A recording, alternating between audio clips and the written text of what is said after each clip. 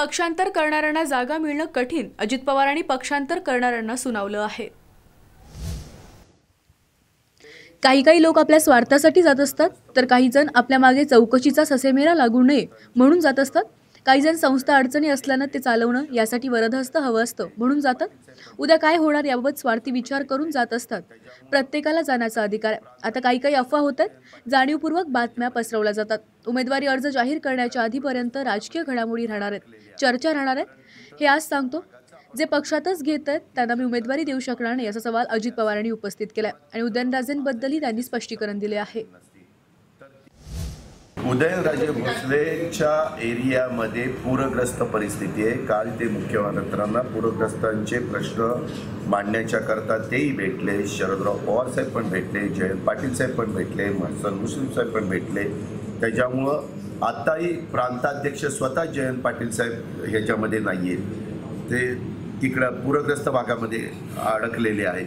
कारण तिथं ज्या भागाचं आपण प्रतिनिधित्व करतो ती जनता जर पाण्यामध्ये असेल किंवा तिथं आजही त्यांचे संसार उभे राहिलेले नसतील तर ते मान्यवर तिथं काम करतायत.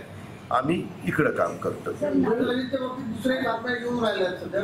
त्याच्या संदर्भामध्ये तुम्ही त्यांना विचारा ना. मला जी माहिती आहे ती मी तुम्हाला दिली सर नाही त्यांचं तर हे चित्र कसं आहे? त्याला वेग- कळलं नाही. वेगवेगळ्या निवडणुकीच्या निमित्तानं काही काही जण स्वतःच्या स्वार्थाकरता जात असतात.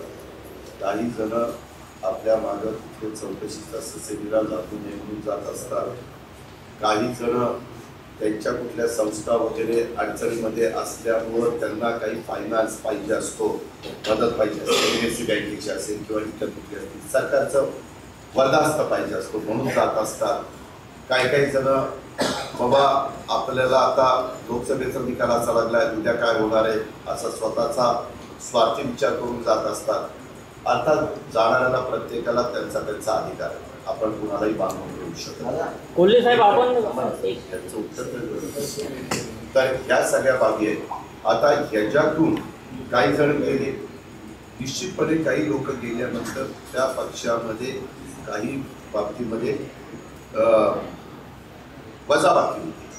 परंतु इतर सहकारी मित्रांना बरोबर घेऊन ती वजाबाकीची बेरीज करायची असते. आता विकास गडकरी हे राजकारणात नव्हते.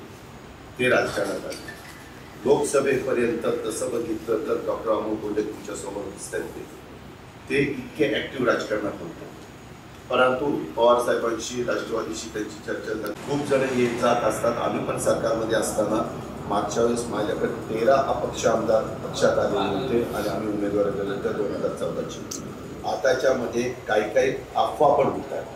जे मी पेपरला वाचलं की काही जण म्हणाले की मी तर कधी विचारच केला नाही परंतु बातम्या कशा जाणीवपूर्वक पसरवल्या जातात असं मी म्हणत नाही.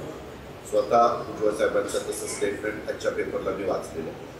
आणि हे सगळे प्रकार झालेले मी आपल्याला सांगतो अजूनही मतदानाच्या आधी सॉरी उमेदवारी जाहीर करण्याच्या आधीपर्यंत एवढ्या मोठ्या प्रमाणावर वेगवेगळे राजकीय घडामोडी घडणार आहेत हे तुम्हाला आज मी सांगतो. कारण या वेगवेगळ्या लोकांना वेगवेगळे पक्ष घेतात त्यांना ते उमेदवारी देऊ शकत जागा किती आहे? दोनशे अठ्ठ्याऐंशी. त्याच्यापेक्षा जागा तुम्ही जास्त वाढवू शकता का? नाही. ते म्हणतायत आमची युती होणार.